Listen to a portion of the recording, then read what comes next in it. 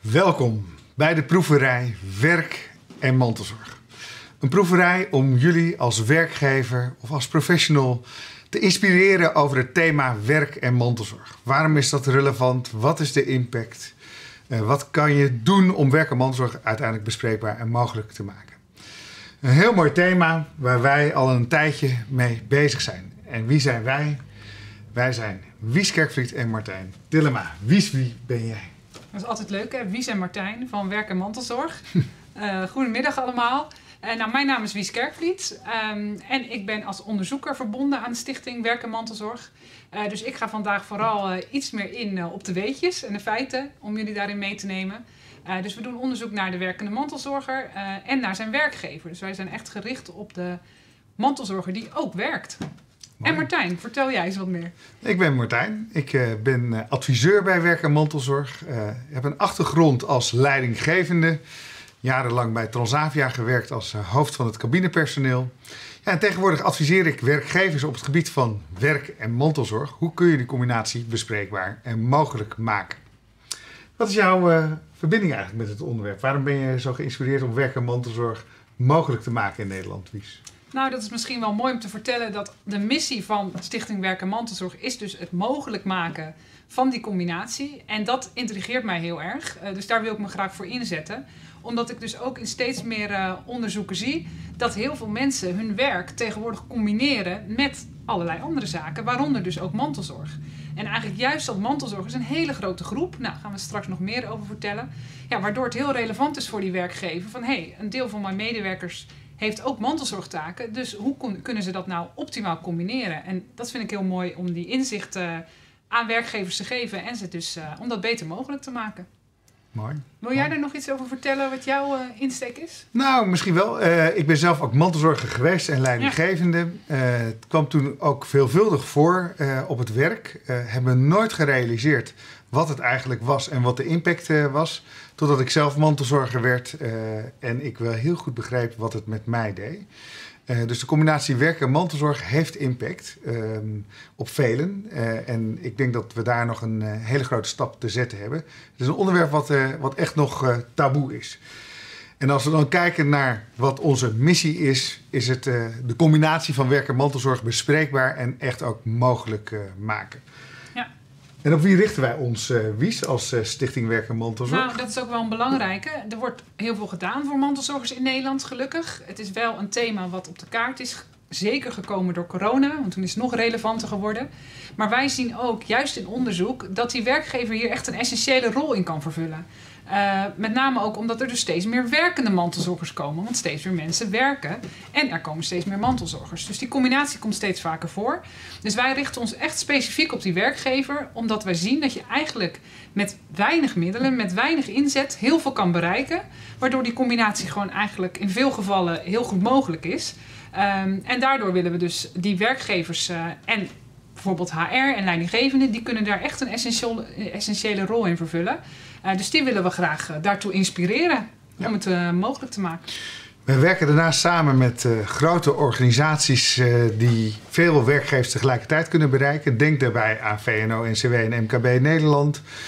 ANO-fondsen, gemeenten die een hele belangrijke rol hebben om mantelzorgers te ondersteunen. En dus ook werkgevers steeds meer in het snotje krijgen. Uh, en daarmee proberen we een soort olievlekwerking op gang te brengen om zoveel mogelijk werkgevers uh, mantelzorgvriendelijk te laten werken. Ja.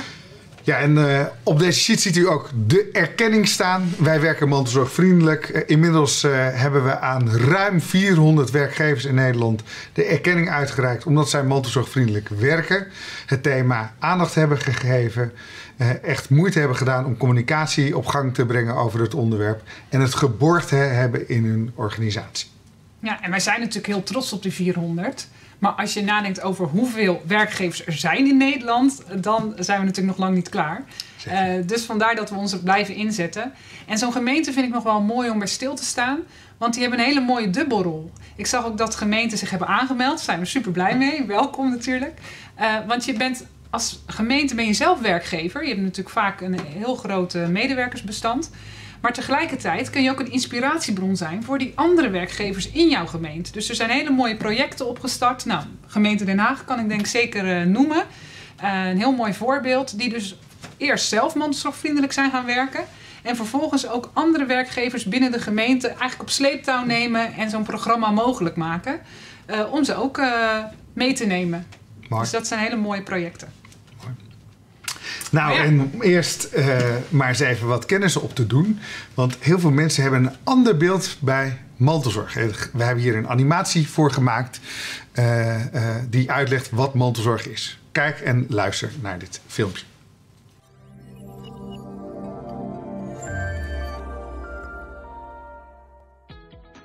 Zorgt jouw medewerker voor een naaste die langdurig ziek is, een beperking of psychische problemen heeft of hulpbehoevend is?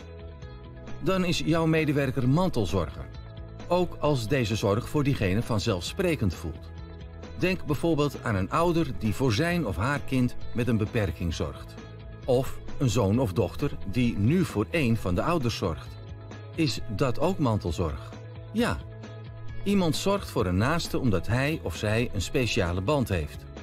Vaak is er geen keus. Het is gewoon nodig en het wordt niet betaald. Het begint met af en toe een boodschap doen of meegaan naar de huisarts. Totdat de zorg opeens bijna dagelijks is. Denk aan het toedienen van medicijnen, helpen met douchen of de administratie bijhouden en het geld beheren. Daarnaast kan er het gevoel ontstaan dat de mantelzorger altijd alert en beschikbaar moet zijn. Het zit continu in het hoofd. In plaats van een vader, kind, zus of partner te zijn, is jouw medewerker nu hulpverlener. Zorgen voor een ander is mooi, maar het kan soms ook pittig zijn. Bijvoorbeeld als de zorg gecombineerd wordt met een baan. Mantelzorg kan iedereen overkomen. Wat kun jij als leidinggevende doen? Praat erover. Kijk op werkenmantelzorg.nl voor meer tips, informatie en praktische tools. werk en mantelzorg. Samen werkt het.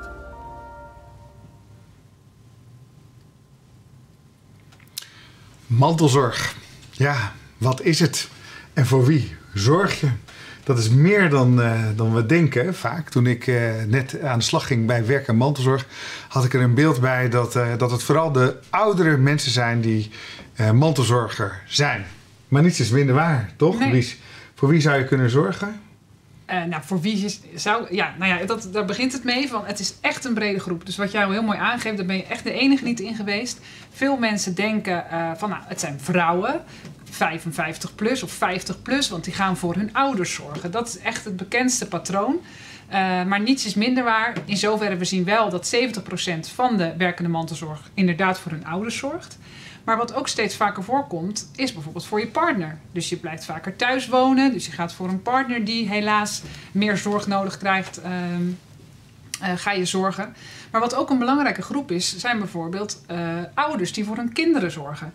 Ook daarin uh, horen we heel vaak terug van ja, maar ik ben toch geen mantelzorger, ik ben gewoon ouder, ik zorg voor mijn kinderen. Maar wij vinden het wel belangrijk dat ook die mensen zich er bewust van zijn dat het dat het gaat over extra zorg die niet zomaar elke ouder heeft. En wat dus ook echt wel wat aanpassingen uh, kan vereisen, bijvoorbeeld op je werk. Ja. Dus denk bijvoorbeeld aan een kind met autisme of met een beperking, wat echt extra zorg uh, met zich meebrengt. Kijk, kinderen, dat, dat, dat is zorg, daar weet ik uh, ook alles van. Um, maar dit gaat echt over extra zorg en dan noemen we het mantelzorg. Maar het belangrijkste is die extra belasting dat het voor, die, die het vormt. En wat ook belangrijk is, nog, vind ik nog wel even om te benoemen, is dat er ook een hele grote groep jonge mantelzorgers zijn. Dus dat we bepaalde sectoren horen die zeggen, nou ja, maar ik heb allemaal jonge medewerkers. Nou, en dan ook nog eens man. Ik uh, noem bijvoorbeeld de bouw. Uh, maar er zijn ook jonge, uh, jonge mantelzorgers die bijvoorbeeld voor hun ouders of voor grootouders uh, zorgtaken hebben. Dus we zien het echt over de gehele linie. We zeggen ook altijd helaas, maar iedereen krijgt er vroeg of laat mee te maken. Ook jij, ook jouw medewerkers. Uh, dus dat is gewoon een goede om je van bewust te zijn. Ja, nou, en om nog even kort te resumeren. Mantelzorg is langdurige, intensieve zorg voor een naaste. Het overkomt je in het leven. Hè? Dus een kindje wordt geboren met een beperking, je ja. partner wordt ziek, de buurvrouw uh, heeft misschien een verslaving uh, en redt het niet alleen. En jij als mantelzorger pakt het dan op uh, en besteedt daar veel tijd aan en ook langdurig. En het is niet alleen de zorgen die je echt uitvoert in het zorgen, maar je hebt er ook zorgen over. Hè? Dus bijvoorbeeld ook op het werk. En misschien is dat een mooi bruggetje ook naar werk en mantelzorg. Want het is actueler dan ooit. Uh, en we zien heel veel publicaties in de landelijke pers uh, terugkomen. He, bijvoorbeeld in het Financieel Dagblad. De combinatie van werk en zorgtaken leidt steeds vaker tot, uh, tot stress. veel mantelzorgers zijn overbelast. dus het wordt steeds een actueler thema. En we zijn net, komen we uit een ja. coronapandemie, Wies. Ja. Hebben we daar nog uh, dingen gemerkt? Uh, hebben we daar dingen geleerd? Ja, zeker. Nou ja, wat, wat wel een goed is om mee te beginnen, is dat we dus heel veel ontwikkelingen sowieso de afgelopen jaren al spelen. En waarvan we ook weten dat zijn trends. Dus er komen steeds meer ouderen. Ouderen blijven steeds langer thuiswerken, uh, thuis wonen. en we zien dat, um, wat wou ik zeggen? Dat dus die groep het ook steeds vaker met werk combineert. Dus wat we net al noemden, het zijn 70% van de werkende mantelzorgers zijn vrouwen. Maar vrouwen zijn juist weer meer gaan werken. Dus dat is natuurlijk een trend die eigenlijk gelijk oploopt. Waardoor er gewoon onderaan de streep steeds meer werkende mantelzorgers zijn. En hoeveel, hoeveel mantelzorgers zijn er eigenlijk in Nederland? Nou, volgens mij gewoon mantelzorgers, nog even los van of ze werken, zijn er al 4 miljoen. Ja. Uh, en we gaan straks volgens mij nog stilstaan bij hoeveel werkende mantelzorgers er zijn. Maar dat worden dus in ieder geval steeds meer. En daarom vinden we het zo belangrijk om dat ook aan jullie over te brengen. En over corona gesproken, om daar nog stil bij, uh, even kort bij stil te staan. Daar zien we vooral dat de belasting is toegenomen. Dus we zien al dat er steeds minder mantelzorger per zorgvrager beschikbaar zijn. Want eerst kon je de zorg misschien nog delen met meerdere broers en zussen. Dat is natuurlijk ook veranderd. Dus dat zijn ook ontwikkelingen die meespelen.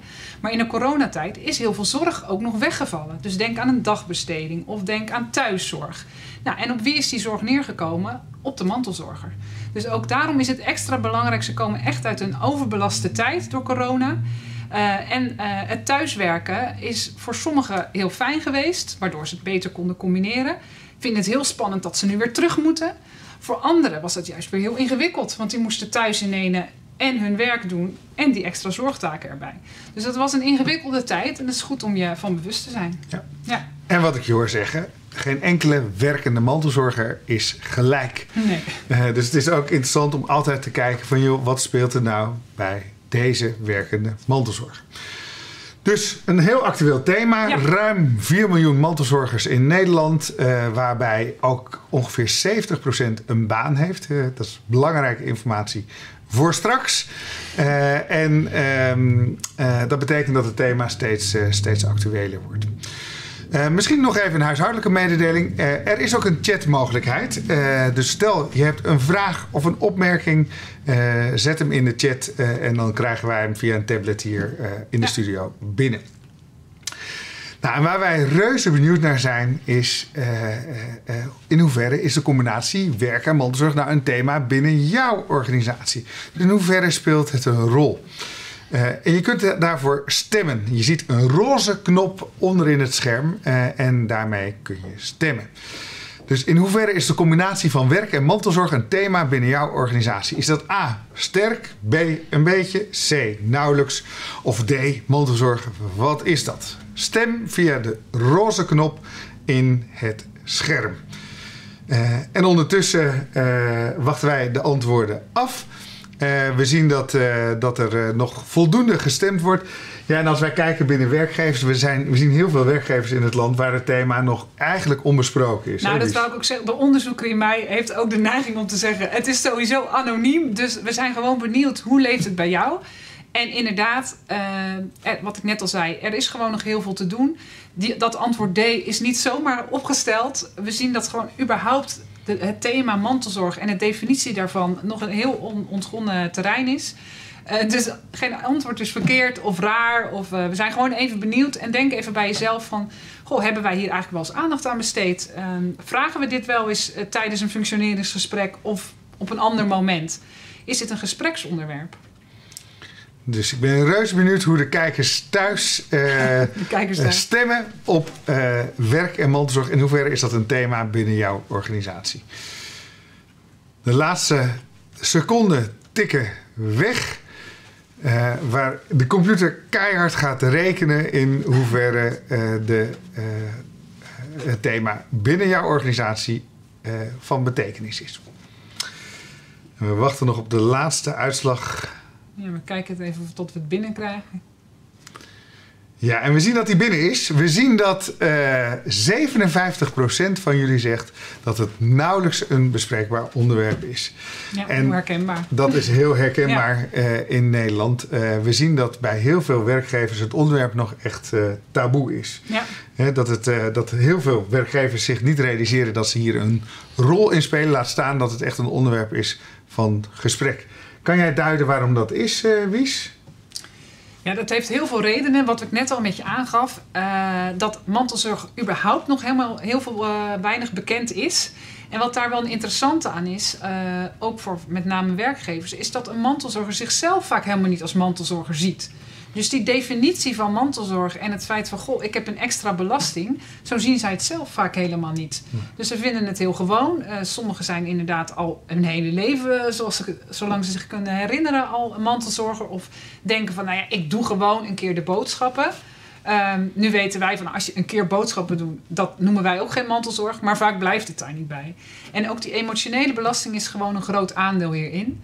Uh, en we zien tegelijkertijd dat een werkgever, uh, daarom organiseren we ook vandaag deze proeverij, zich ook nog niet bewust is van de rol die hij hierin uh, in kan pakken. Dus het is helemaal niet. Nou, en het is logisch ook dat mensen er niet direct over praten. Ja. Hè, want ja, het begint met een, vaak met een kleine taak, zoals een boodschap doen of even helpen bij de administratie. Maar het wordt gedurende de tijd vaak meer. En pas als het echt niet meer gaat, dan praten mensen erover. Ja, en als je dat niet weet, uh, dan, uh, uh, dan is het ook lastig om het als onderwerp te agenderen. Nee.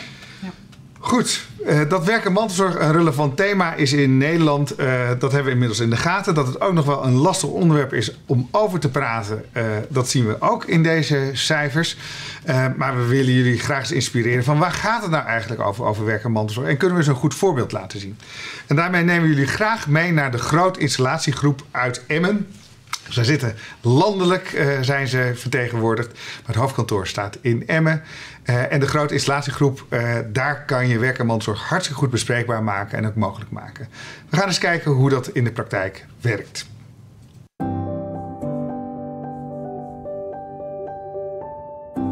Ik ben Marcel de Groot, algemeen directeur bij de grote installatiegroep. Ik heb uh, drie zussen waarmee we samen dit bedrijf nu doen. het is begonnen met mijn vader. Wij zijn op een gegeven moment zijn wij met z'n zessen doorgegaan. Ik heb nog twee broers ook in het bedrijf gehad. We hebben op dit moment uh, een goede 700 medewerkers aan het werk. En uh, we hebben een omzet van 130 miljoen. En we hebben uh, landelijk 13 vestigingen. We hebben een, focus van werktuigbouw, elektrotechniek, sprinkelen en service en onderhoud.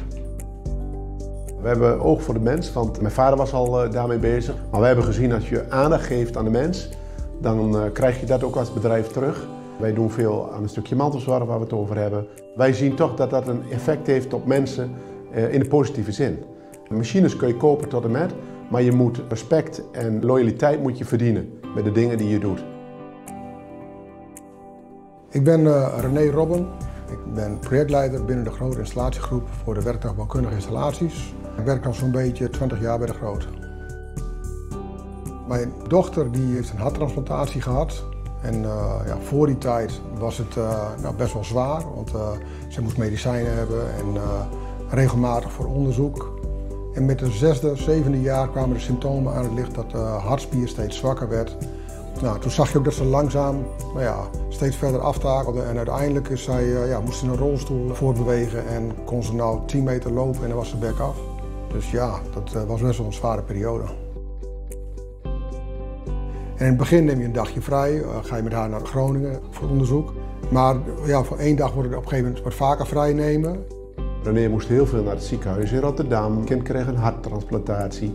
Op een gegeven moment kwam René bij ons en die zei van ja, we hebben een, ik heb een groot probleem, want uh, ik kan me eigenlijk niet op mijn werk focussen. Mijn kind is uh, het allerbelangrijkste. Hoe kunnen we het oplossen? Nou, toen hebben we René gezegd van joh, weet je, maak je niet druk om de uren die je maakt. Ga de taak invullen zoals je hem kunt. En dat is eigenlijk heel goed gegaan. In principe was er een lijst met negatieve uren, zeg maar, die was er wel. Nou ja, als projectleider maak je best wel veel uren. Ik geloof dat ik er twee jaar over gedaan heb en toen was het alweer uh, verrekend, die uren. Als je dan thuis heel erg moeilijk zit, dan moet je er wel afstemmen met je werkgever.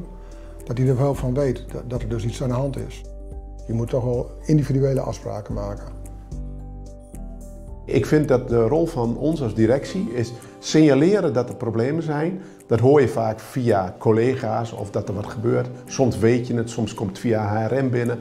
En als je dat weet, dan moet je gewoon actief naar die mensen toe gaan van God, als er iets is waar we kunnen helpen, geef het aan. En het is niet alleen maar zeggen van joh, je krijgt zoveel dagen of blijf maar thuis. Nee, het is in samenspraak met elkaar, soms met een mantelcoach erbij. Van joh, dit zijn de oplossingen. Er ligt een deel bij het gezin, er ligt een deel bij de omgeving van de persoon en er ligt een deel bij de werkgever. En als je dat op een goede manier doet, dan kom je vaak tot verrassend goede oplossingen. Ik vind het heel belangrijk dat, dat zij de familiezaken wat thuis gebeurt, dat zij dat ook heel belangrijk vinden dat dat gewoon goed zit. En eh, voor mij is dat ook gewoon belangrijk, omdat het ook voor mijn leven zo geldt dat als het thuis goed zit, dan ga ik ook gewoon goed naar mijn werk toe en dan kan ik ook goed functioneren. Als er problemen zijn thuis en het kan niet opgelost worden, dan neem je dat mee naar je werk. En dan leidt je werk er automatisch ook onder. Ik vind het belangrijk dat je focus hebt op mensen. En als je de focus hebt op de mensen en je zorgt dat daar aandacht voor is, dan krijg je dat terug. Nou, met mijn dochter gaat het hartstikke goed. Die is nu 21, die wordt straks 22, eh, die is bezig met een rijbewijs. Ja, ik ben een heel gelukkig mens, ja. ja. Als het thuis goed zit, dan uh, voel je ook wel lekker in je vel, ja.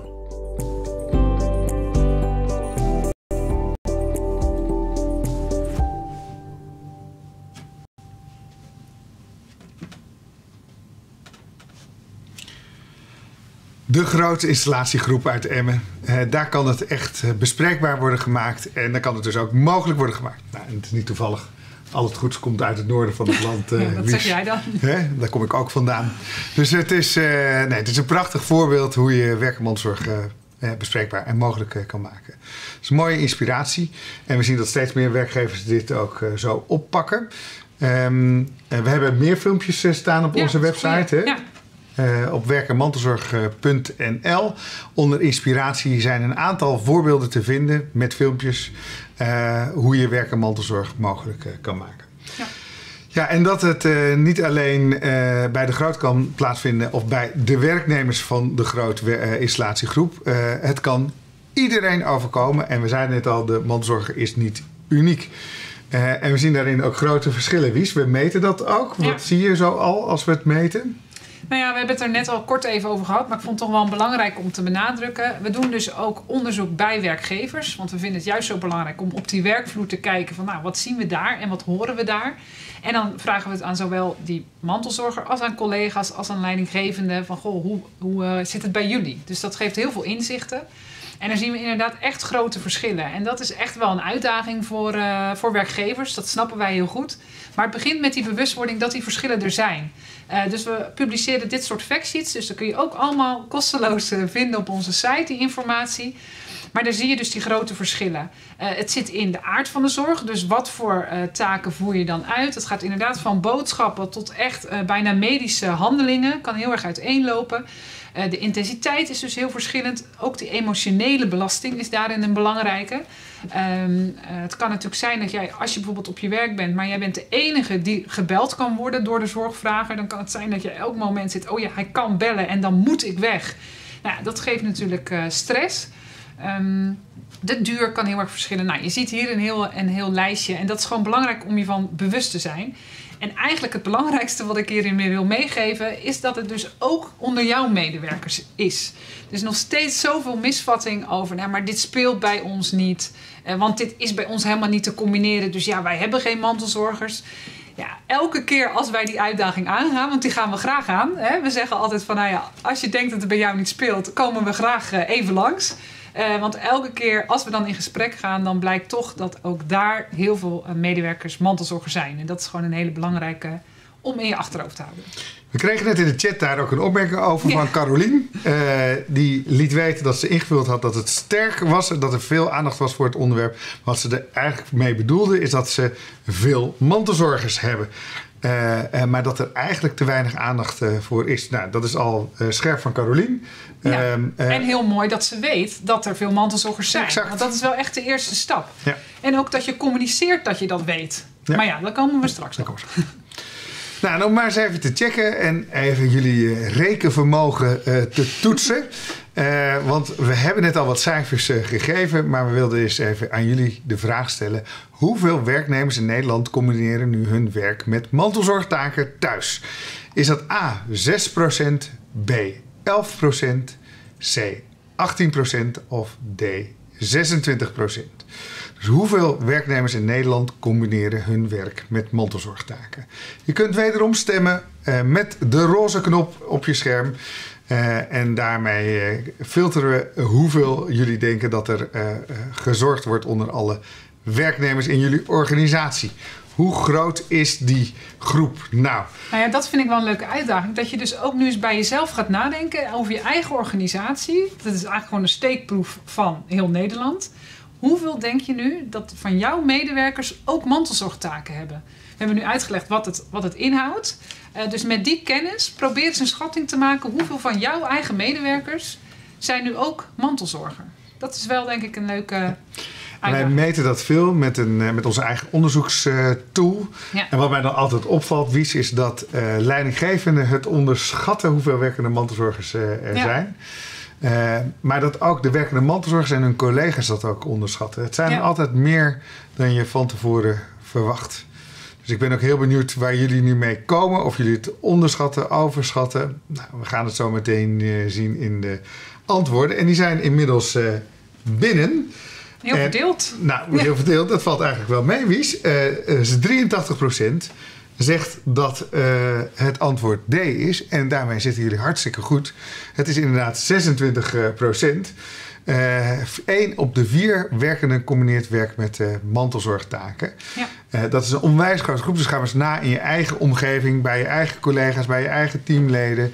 Hoeveel zijn daar nou van mantelzorg? En je kunt er altijd wel een paar benoemen. Maar één op de vier, dat is veel meer dan je denkt. Ja, en vaak gaat dat goed.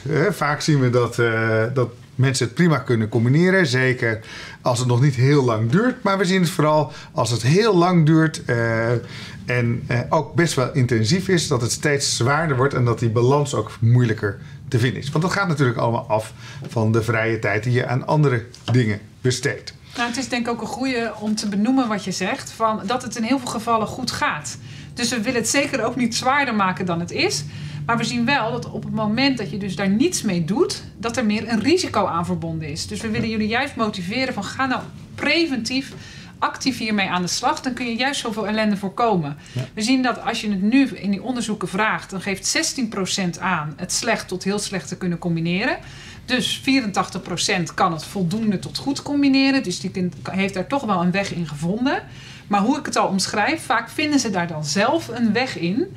Um, en de vraag is inderdaad, uh, als je dus doorvraagt naar bijvoorbeeld gezondheidsklachten, zien we toch ook bij die groep dat ze bijvoorbeeld al meer gezondheidsklachten uh, geven dan hun collega's. Dus dan zie je alweer de risico, uh, het risico wat eraan verbonden is. Als dat dan te lang doorgaat, ja, dan op een gegeven moment kan iemand natuurlijk omvallen.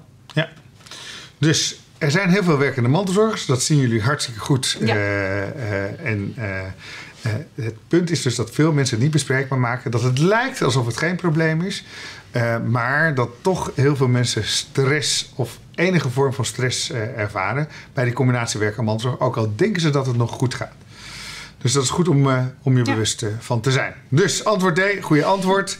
En we willen jullie toch ook nog een situatieschets geven van een werkende mantelzorger waar het eigenlijk uh, uh, niet zo goed gaat. Uh, ik wil jullie graag voorstellen aan Marion. 44 jaar, werkt als onderzoeker en is mantelzorg van de moeder die, die dementie heeft. Dit is een echt gebeurd verhaal. Ik kwam bij een werkgever en ik sprak daar met de eigenaresse van, van, de, van, de werkge- of, van, de, van, de, van het bedrijf. Ja. En in haar team was Marion aan het werk. En Marion die werd regelmatig gebeld, uh, en dan bedoel ik echt meerdere keren per dag, door haar moeder. Uh, die dementerend is.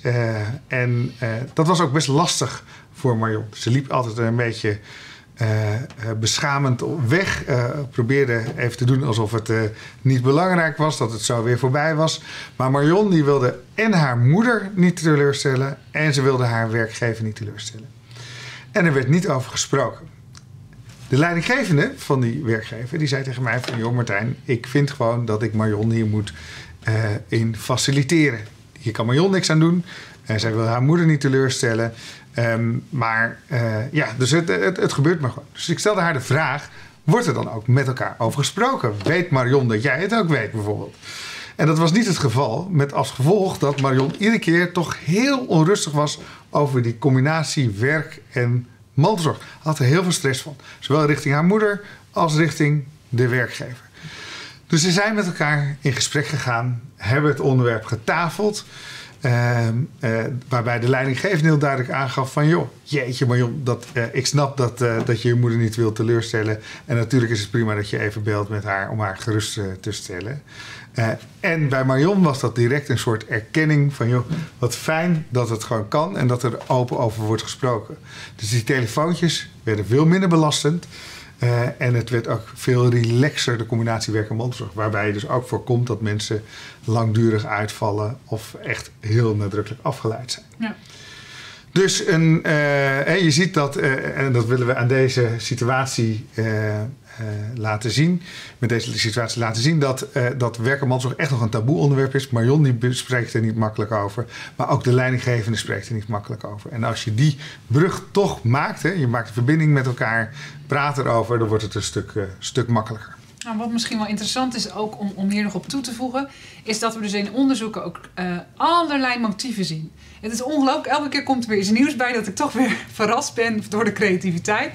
Want zowel die mantelzorger als die leidinggevende hebben allerlei uh, uh, ideeën in hun hoofd. De mantelzorger, om even aan te geven, wil, ik wil echt mijn collega's er niet mee belasten. Ik wil mijn leidinggevende, die heeft al allerlei andere dingen aan zijn hoofd. Ik wil werk en privé gescheiden houden. Misschien is het negatief voor, voor mijn carrière. Um, vergeet ik er nog meer naar. Er zijn allerlei argumenten waardoor die, waarom die dus niet bespreekbaar maakt. Terwijl het gebeurt natuurlijk wel. Het, de situatie is zoals die is. Zeker. Maar houdt het heel erg bij zichzelf. Een leidinggevende ziet het vaak wel. Of ziet in ieder geval dat er iets aan de hand is. Uh, maar heeft er ook allerlei ideeën bij. Van ja, nou ja, uh, ik wil dat eigenlijk ook uh, gescheiden houden. Want dat wil die mantelzorger waarschijnlijk. Ook allemaal ideeën over wat die mantelzorger graag wil. dus er, wordt heel veel, ja, er is heel veel welwillendheid naar elkaar toe. De mantelzorger wil heel graag blijven werken. Uh, wil zich, is vaak ook loyaal. Nou ja, hij is niet voor niets mantelzorger. Hij is ook heel loyaal naar die werkgever toe. Het zijn eigenlijk ideale medewerkers, zeggen we altijd. Maar die bespreekbaarheid kan ontzettend veel lucht geven. Dus ik vind het ook een mooi voorbeeld van uh, de situatie verandert eigenlijk niet. Dus de werksituatie is in dit geval gelijk gebleven en de mantelzorgsituatie. Maar alleen al het openbreken van het taboe uh, kan al enorm verschil maken. Ja, mooi. We gaan eens even kijken of we nog wat interactie met ja. jullie kunnen realiseren. Want we zijn reuze benieuwd uh, wat jullie denken. Waar hebben werkende mantelzorgers op de werkvloer nou het meeste behoefte aan? Waar kun je ze mee helpen? Is dat A, verlof, hè, dus vrij ja. krijgen?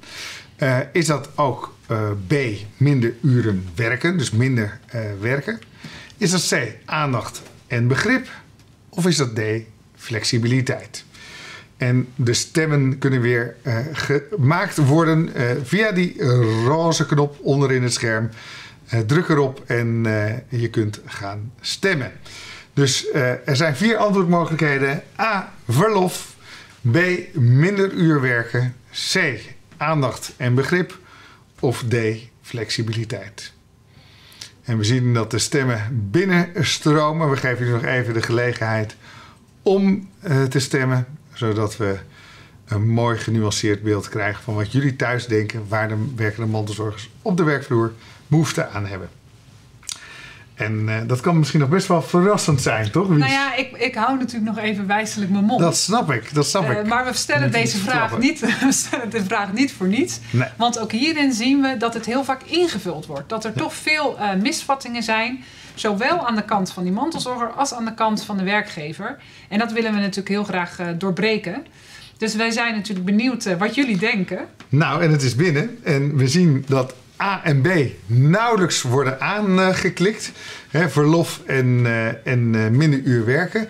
En laat ik vooropstellen dat bij werkgevers uh, vaak dat ja. verwacht wordt van joh, dat mantelzorgers willen. Namelijk vrij krijgen of minder uren werken. Dus dat mantelzorg voorgaat uh, voor het werken.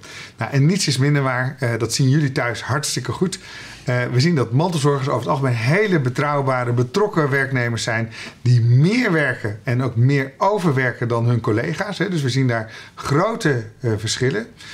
dus verlof en minder uur werken, dat is eigenlijk helemaal niet aan de orde. Dat kan natuurlijk wel aan de orde zijn, want geen enkele mantelzorger is hetzelfde. Uh, maar het is, uh, het is zeker zo dat het vooral gaat over aandacht en begrip en flexibiliteit. Dat zijn zeker de nummer 1 en 2. Ja. Uh, als je kijkt naar waar werkende mantelzorgers behoefte aan hebben. Want wat staat op nummer 1, Wies? Aandacht en begrip. Aandacht en begrip. Dus het gaat heel erg om dat luisterend oor. Nou ja, we vulden het net. We hebben eigenlijk het zelf misschien al een beetje verklapt net. Uh, tussen de regels door. Omdat wij inderdaad zien dat die, die, die openheid en die bespreekbaarheid al, al echt zoveel rust geeft. Dus dat is een hele belangrijke. En dan gaat het niet eens zozeer over dat die hele uh, situatie, die zorgsituatie, je tot in detail besproken moet worden. Dat is ook wel een. Uh, een misvatting. Maar meer over gooi het gewoon, uh, of gooi het gewoon, maar meer het op tafel leggen van er speelt in ieder geval iets. Ik heb een zorgsituatie thuis en ik wil graag bespreken van hoe wij nu uh, met wederzijds uh, afstemming tot gewoon een nieuwe combinatie kunnen komen. Want ook dat minder uur werken of bijvoorbeeld verlof, dat een werkgever bedoelt dat vaak heel goed. Van nou neem maar vrij en ik geef je alle ruimte. Maar mantelzorg is echt een langere duur. Dus ja, verlof is, is wellicht een tijdelijke oplossing voor een calamiteit of, of, voor een spoedsituatie. Uh, maar niet om op langere termijn de combinatie goed te kunnen maken. Wat ze juist graag zo willen, uh, die mantelzorgers. Dus dat is wel uh, nog een toevoeging.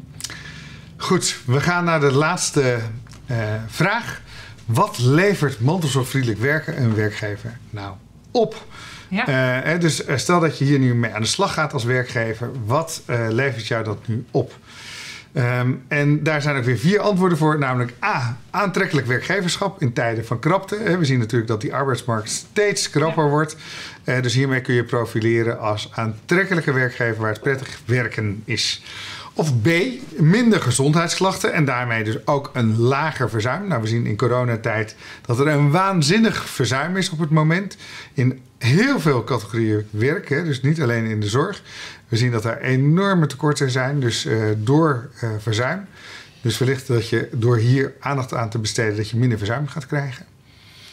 Of C, gemotiveerde, betrokken en productieve medewerkers. Hè, dus door aandacht te besteden aan werk en mantelzorg zijn medewerkers uh, gemotiveerder, betrokkener en daarmee kunnen ze ook meer werk leveren. Of D, alle antwoorden zijn juist. Dus wat is het juiste antwoord hierop? Ook hiervoor staat uh, de stemming weer open via de roze knop. Uh, en ik zie achter de schermen dat er al druk geteld wordt. wordt. De rekenmachines worden op tafel gelegd om de percentages te berekenen. Dus we gaan uh, uh, eens kijken wat dat straks uh, gaat opleveren. Maar wat denk jij dat mantelzorgvriendelijk werken een werkgever oplevert? Ja, en waarom stellen we deze vraag? Dat is nog wel een belangrijke, vind ik zelf. Want we hebben jullie meegenomen in nou ja, dat, dat er ontwikkelingen zijn, dat dit gewoon speelt. Dus ja, je moet er wat mee. Maar wij zien dus dat het ook heel veel oplevert. Dus dat is, het is echt een win-win situatie om hiermee aan de slag te gaan. Nou, en dat ze dat thuis doorgeven, dat is wel duidelijk. Dus even, ja! nou, 100 procent. alle antwoorden zijn juist. Nou, ik moet ook eerlijk bekennen, dat je kan je bijna geen antwoord op geven natuurlijk. Nee. He, maar dat jullie dat doorhebben al, dat is hartstikke fijn. Uh, jullie hebben het allemaal goed. Alle antwoorden zijn juist. En uh, we zien ook dat dat, uh, dat, dat echt ook loont. Hè? Dus dat dat minder verzuim, dat loont ongelooflijk in, uh, in gewoon de cijfers, in financiële cijfers, in je eigen flexibiliteit als, uh, als werkgever. Maar het is ook makkelijker om uh, nieuwe werknemers aan te trekken. En ze leveren ook gewoon simpelweg meer produc productie. Hè? Dus, dat er minder stress is en ja. betere communicatie. Ja, en wat nog wel een goede is qua verzuim. Ik denk dat heel veel, zeker HR-professionals, echt wel de trends hebben gevolgd van het psychosociale verzuim. Maar dat blijft natuurlijk een heel ongrijpbaar aantal. Uh, dus we zien wel dat dat toeneemt. Maar ja, hoeveel daarvan heeft dan bijvoorbeeld met de thuissituatie of met mantelzorg te maken? Ja. Uh, maar CZ heeft daar een heel mooi onderzoek naar gedaan. Uh, en die heeft in ieder geval aangetoond dat 18% van al het verzuim mantelzorg gerelateerd is. Nou, ik denk zelf dat het nog wel veel hoger is.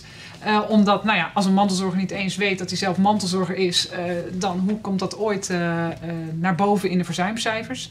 Maar ja, het gaat dus wel over dit soort aantallen. En een heel groot deel van je medewerkers is mantelzorger, dus kan het ook zomaar doorgerekend worden in dat verzuimcijfer. Stel dat je verzuim nu 5% is, wat relatief laag is nu in Nederland, dan kun je dat terugbrengen naar 4% door aandacht te besteden aan de combinatie werk en mantelzorg, dat bespreekbaar te maken en op zoek te gaan naar oplossingen waardoor medewerkers dat goed kunnen combineren. Dus dat is een heel fors uh, aantal. En uh, daar wordt weer een vraag over ja. gesteld. Wederom door Carolien. Fijn dat je zo actief uh, luistert, uh, Carolien. Zijn hier rapportages van en zijn, zitten die onderzoeksresultaten in een rapport? Nou, Wies, daar kan ja, jij zeker. antwoord op geven. ja, zeker. ook op onze site. Je kan ook nog zoeken op business case, hebben we het genoemd. Maar we hebben zelfs een hele sectie kosten en baten. Waar je dus echt dit soort, ja, echt wellicht voor stakeholders, wellicht voor de directie. Dat je zegt, kijk, dit is echt een belangrijk thema om mee aan de slag te gaan. We hebben allemaal voor je op een rijtje gezet. Uh, dus kun je gewoon vinden op onze site. Als je het niet kan vinden, neem contact met ons op en dan uh, helpen we je heel graag verder. Want dat is allemaal beschikbaar. Ja. Nou, en als we dan kijken, Wies, uh, ja. kan een werkgever hier nou iets mee? Hè, in dat de is praktijk? vaak de vraag natuurlijk. Ja. ja. ja. Nou, wij denken van wel. Ja, leg eens uit. Nou, wij zien zelf, nou ja, dan kom ik weer. Martijn kan mooi uit de praktijk vertellen, wellicht straks nog een mooi voorbeeld. Maar als je gewoon naar de keiharde cijfers gaat, uh, kijkt, dan zie je ook echt significante samenhang tussen wat er op de werkvloer gebeurt en hoe die mantelzorgers die combinatie ervaart. En die ervaren combinatie, die hangt weer samen met die uh, positieve invloed die we net hebben geschetst. Dus bijvoorbeeld zo'n burn-out cijfers. Of hoe aantrekkelijk een werkgever is weer voor anderen. Dus ook het aanbevelingscijfer. Uh, dus die ervaren mantelzorg, uh, werk-mantelzorgbalans is een hele belangrijke. En met name de begrip en de steun van een leidinggevende heeft er enorm veel impact op. en dan zeg ik altijd maar, je kunt geen steun ervaren als je het nergens over hebt. Dus waar het echt begint, we hebben het al een aantal keer genoemd eh, als rode draad, is die bespreekbaarheid van het onderwerp. Uh, en dat kun je op allerlei uh, manieren doen. Maar we zien dus nog steeds dat 44% van de leidinggevenden, of niet bij de mantelzorgers, is 44% van de leidinggevenden niet op de hoogte. En daar is ook heel interessant in uh, dat we echt een perceptieverschil zien. Dus we vragen inderdaad ook aan de leidinggevende: van goh, ben jij op de hoogte van zo'n eventuele situatie in jouw team? Dan is echt, nou, 90, 95 procent van de leidinggevende is heel welwillend. Die zegt, ja, mijn deur staat altijd open. Ik ben echt goed op de hoogte van wat er speelt in mijn team. Vragen we het vervolgens aan de mantelzorgers, die dus daar dus werken. Geven dus uh, eh, 44 procent aan dat de leidinggevende niet op de hoogte is. Dus er is heel erg een welwillendheid, maar toch wordt het niet besproken. En daar is gewoon nog heel veel in te winnen. Dus het blijkt, het blijkt uit de cijfers, maar het blijkt ook uit de praktijk volgens mij. Zeker. Nou, in de praktijk uh, is ik, het voorbeeld wat we net gaven van Marion hè, uh, is een prachtig voorbeeld. Maak je niet bespreekbaar, dan komt de spanning steeds meer uh, in het lichaam en in de geest. En dan uh, wordt het op een gegeven moment ook steeds moeilijker combineerbaar. En juist door dat gesprek en juist door die erkenning van die werkgever ontstaat er rust en balans waarmee je dus verzuim voorkomt. Maar waarmee je dus ook een aantrekkelijkere werkgever bent. En Marion in dit geval ook betere productiviteit kan leveren. Er worden nog uh, twee vragen gesteld ondertussen. Annelies die vraagt: zijn er typische signalen zodat een werkgever kan herkennen dat iemand mantelzorg is en mogelijk overbelast? En die zijn er zeker. Hè? Uh, zodra iemand uh, uh, gespannen is, dan, ja, dan kun je die signalen zeker wel herkennen. Ik denk dat we daar allemaal wel beeld bij hebben. Maar we zien ook dat je liever hebt dat, dat je zo snel mogelijk het gesprek aangaat. Dat die gespannenheid of die overspannenheid of die overbelasting voorkomt. En dat doe je vooral door het bespreekbaar te maken. Het hoe gaan wij vandaag nog niet zoveel over in. Vandaag is de doelstelling om jullie in ieder geval aan het denken te zetten van joh, dit is een belangrijk onderwerp. Het is een proeverij uh, over werk en mantelzorg. Wij komen later uh, uh, terug met een prachtig webinar over ja. hoe kun je dat realiseren. Dus Annelies, let nog even op. We komen er straks op terug. want er komen nog vervolgen op deze proeverij. En Anja vraagt, ik ben mantelzorgmakelaar. Mag ik de gegevens op jullie site ook gebruiken om werkgevers te informeren Al onze cijfers zijn vrij te gebruiken. Natuurlijk wel met bronvermelding van werk- en mantelzorg erbij. Dat zouden wij heel erg op prijs uh, stellen. Uh, maar natuurlijk zijn alle cijfers uh, te gebruiken. Hoe meer werkgevers wij bereiken in samenwerking met jullie, met de, de mensen thuis, hoe beter het is. Het is misschien ook wel mooi om te vertellen dat wij worden gesubsidieerd door de overheid. het ministerie van VWS en SZW erkennen alle twee heel erg het belang, het belang die zien natuurlijk ook deze ontwikkelingen. Die zien ook hoeveel werkende mantelzorgers er zijn. Die willen ook heel graag dat zoveel mogelijk Nederlanders uh, kunnen werken, blijven werken, aan het werk komen. Want dat is Zeker. natuurlijk ook zo. Uh, dus wij worden gesubsidieerd. Dus alles is inderdaad uh, ook voor jullie beschikbaar. En we willen juist dat ook mantelzorgmakelaars ons helpen.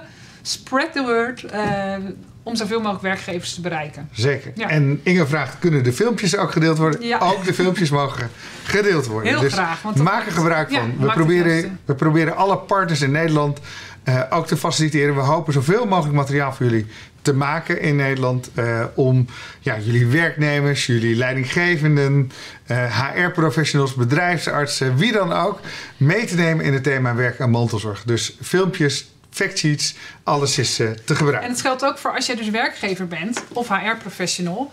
Uh, we hebben dus bijvoorbeeld zo'n animatie over wat is mantelzorg nu eigenlijk. Kun je ook heel mooi bijvoorbeeld op je intranet zetten. Om alleen al bij jouw medewerkers te creëren en dus ook je leidinggevende van hé, hey, weet wat dit is. En jij bent niet de enige die, die, waarbij dit speelt. Dus heb, heb het er een keer met collega's over. Want dan blijkt vaak van hé, hey, wij kunnen iets delen. We kunnen samen misschien uh, over oplossingen nadenken. Dus ook dat kan helpen om het thema te agenderen binnen je bedrijf. Dus dat is ook goed. We hebben met elkaar gesproken, Wies, ja. over er zijn superveel mantelzorgers. Er ja. zijn ook heel veel werkende mantelzorgers. Er wordt nog te weinig op het werk over gesproken. Ja. Uh, waarom is het verder nog voor werkgevers uh, relevant om, uh, om dit thema aan de orde te stellen? Nou ja, eigenlijk deze punten hebben we toch al zo door de, tussen de regels door besproken. Ik heb de trends besproken. we hebben het erover gehad dat nu door corona... We denken wel van nou de, de maatregelen... we hoeven geen plexiglas meer tussen ons. dus we zijn er van af. Maar er zijn nog steeds, is nog steeds ontzettend veel uitval, ook of met name in de zorg. Uh, waardoor die zorg thuis uh, op die mantelzorger terechtkomt. Dus die staat echt nog onder hoge druk. Dus het is nu heel actueel. Um, en die arbeidsmarktkrapte, ja, wij zeiden altijd al dat is een argument. Maar ja, dat is nu ook actueler dan ooit. Uh, want we, we, horen letterlijk van werkgevers terug dat het nu in sollicitatie, uh, in vacatureteksten gebruikt wordt.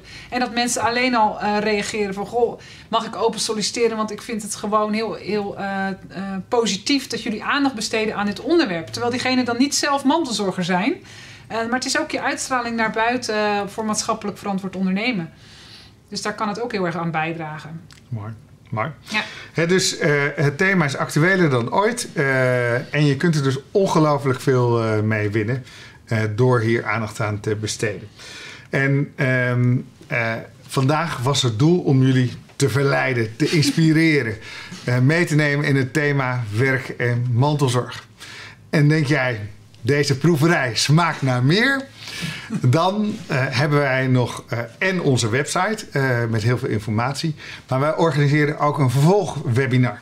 aan de slag met werk en mantelzorg. En dat gaan we uitzenden op 28 april van half twee tot half drie. En daarmee gaan we dus concreter de stap voorwaarts zetten. Hoe maak je het bespreekbaar? Hoe uh, zorg je dat je uh, uh, oplossingen beschrijft in je organisatie? Hoe bekwaam je leidinggevende en werkende mantelzorgers? En hoe borg je het in de organisatie? Ja. Een stappenplan wat wij als werk en mantelzorg altijd doorlopen met werkgevers. Een webinar wat plaatsvindt op 28 april, waar we in een uurtje tijd je meenemen in hoe kun je dit nu echt daadwerkelijk aanpakken. En denk je dan van, joh, ik wil nog meer. Eh, ik wil echt aan de slag en ik wil uh, concreet toewerken naar een actie- en implementatieplan. Dan gaan we een training organiseren samen met onze moeder Mantelzorg NL. Uh, die gevestigd is in Zeist. En we, deze training organiseren we op 10 mei van 10 tot 4 ja. daar op het kantoor van Mantelzorg NL in Zeist.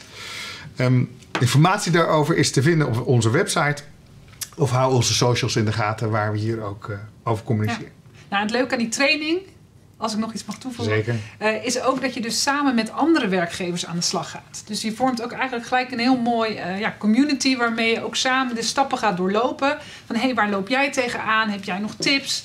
Dus we merken elk jaar weer dat dat ook een hele mooie toevoeging is op elkaar. Zeker. Je kunt ook een leuk groepje vormen. Vorig jaar hebben we bijvoorbeeld, eh, nou, hoeveel waren het? 30 gemeenten tegelijk begeleid. Eh, dus nou ja, we staan overal voor open. Eh, als je zegt, ik wil in een bepaalde sector, ik wil ik een groep vormen. Of ik wil juist met allerlei verschillende werkgevers. Eh, dat is allemaal mogelijk. Ja. Dus we horen ook graag jullie Ja. eh, feedback. Stel nou dat je denkt van joh, ik heb nog ideeën over eh, van, joh, hoe we dit verder zouden kunnen aanpakken. Dan, eh, eh, dan is dat zeker mogelijk. En dan wordt hier nog gevraagd. dingen binnen, dus we zijn een beetje afgeleid. Karin die vraagt: Is het actie- en implementatieplan opstellen ook te volgen door mantelzorgmakers? Uiteraard. Hè, de training wordt gegeven bij Mantelzorg NL. Hè, jullie alle wel bekend als mantelzorgmakelaar. Dus ga zeker ook checken bij de website van, op, op de website van eh, waar ook deze trainingen worden aangekondigd. En die staan zeker ook open voor Nou, mantelzorgmakelaars. ik weet zelfs dat we aparte trainingen hebben voor mantelzorgmakelaars. Dus, dus wij zien echt in jullie ook een groep eh, die ons kan helpen met deze missie. Ehm, dus neem vooral even contact op of kijk even op de site. Eh, Er zijn ook speciale trainingen voor mantelzorgmakelaars. Er zijn speciale trainingen voor ja, professionals die eh, mantelzorgers ondersteunen. Dus het kunnen ook steunpunten zijn of mantelzorgmakelaars. Nou, die zijn eh, ook van harte welkom bij trainingen van Mantelzorg NL. Ja. Goed, dan is er nog een laatste moment om reacties en of vragen te stellen. Ehm, wij hebben ontzettend veel plezier beleefd Ja. met het voorbereiden en uitvoeren van deze proeverij. Ehm, eh, een onderwerp wat ons heel eh, nauw aan het hart uh, Ja, wat wat we belangrijk vinden, ja. waar wij ook van zien dat als je hier aandacht aan besteedt, dat het je als werkgever wat oplevert. Eh, en als het je als werkgever wat oplevert, nou, dan is dat sowieso positief. Maar eh, het is natuurlijk ook fijn dat het die werkende mantelzorger wat oplevert. Meer relaxheid, meer balans. Eh, ja, dat is ook fijn voor die werkende mantelzorger. Die wil niet ziek zijn, die wil juist productief zijn en aanwezig op het werk en aanwezig in die thuissituatie. Ja, en die zorgvraag, die heeft er natuurlijk ook baat bij. Want een mantelzorger die fit en Iedereen vitaal heeft is. Dus iedereen heeft er baat bij. Dus je kunt hierbij. Nou, en wat denk ik ook, wat ik hoop dat gelukt is, eh, is dat we ook hebben laten zien dat we het wat minder zwaar willen maken. Heel veel Ja. mensen denken, oh, dat is dan heel zwaar en heel moeilijk. En zo'n leidinggevende, oh, dan krijg ik zo'n heel verhaal over me heen. Maar het moet juist wat luchtiger, denk ik, gemaakt worden. Het gaat in heel veel gevallen goed. Je kunt heel veel voorkomen. Maar juist door het gewoon wat gewoner te maken. Dus het gesprek over, over hey, ik, er wordt een kind geboren, dat is, dat is leuk nieuws en dat wordt gedeeld. En dan ga je ook even met elkaar aan de tafel van, goh, eh, hoe gaan we dat eh, aanvliegen met elkaar? Eh, hoe kunnen we daar misschien flexibiliteit in vinden? En dat, dat zouden wij heel graag met dit onderwerp ook willen. Want ik zit te denken, nou, er zijn niet meer mantelzorgers dan ouders. Maar in ieder geval ook heel veel, heel veel mantelzorg. Dus het is gewoon een heel groot thema. Dat is een heel Eh, groot thema. en dus, dus het is ook veel makkelijker dan je denkt. Ja. Carolien vraagt nog: worden deze trainingen eventueel ook hybride aangeboden? Wij staan voor alles open. In coronatijd hebben we heel veel online gedaan. Ja. Tegenwoordig eh, doen we dit ook hybride. Dus stel dat je denkt van jee, ik, eh, ik eh, zie ergens een mogelijkheid om bij werkgevers of met mijn werkgever hiermee aan de slag te gaan. We doen nu, ook al kan het weer fysiek, ook nog heel veel online, omdat dat de drempel zeker voor leidinggevenden ook weer verlaagt om deel te nemen. Doen we heel veel online. Wij staan overal voor open. Ons doel is vooral zoveel mogelijk werkgevers, zoveel mogelijk leidinggevenden bereiken, waardoor dat thema bespreekbaarder en ook maakbaarder wordt. Ja, dus geef vooral aan wat jouw behoefte daarin is. Ja. Dan kunnen we ook kijken, stel dat het echt een training is die je graag wil volgen, die bijvoorbeeld in Zeist gegeven wordt, of we daar misschien dat je daar online bij kan zijn. Of zijn, we heel, eh, flex, zijn wij ook heel flexibel in Ja. om dat mogelijk te Wat maken. ons betreft is alles mogelijk. ja. Laten we vooral kijken eh, ja, hoe we dit onderwerp verder kunnen brengen. We horen het veel van werkgevers. Hè. Bij ons kan het niet. Hè. Bij ons is werk en mantelzorg niet te combineren. Nee. Ik wil eigenlijk geen werkende mantelzorgers in dienst hebben. Hè, dat horen we toch ook regelmatig. Eh, ik heb een horecabedrijf eh, te, te, te runnen. Eh, ik heb die mensen nu keihard nodig. Ik wil helemaal niet dat mantelzorgers met mantelzorg bezig zijn. Ik wil dat ze bij mij in het bedrijf actief zijn. Nou, ik weet zeker dat bij elke organisatie werk en mantelzorg mogelijk kan worden gemaakt. Uh, en ik uh, zeg hem de laatste tijd wat vaker. ja. Ik daag je zelfs uit. Hè, als jij denkt, bij mij is het niet mogelijk. Nou, wij komen graag naar je toe en gaan in gesprek over wat er in jouw organisatie uh, voor oplossingen mogelijk zijn.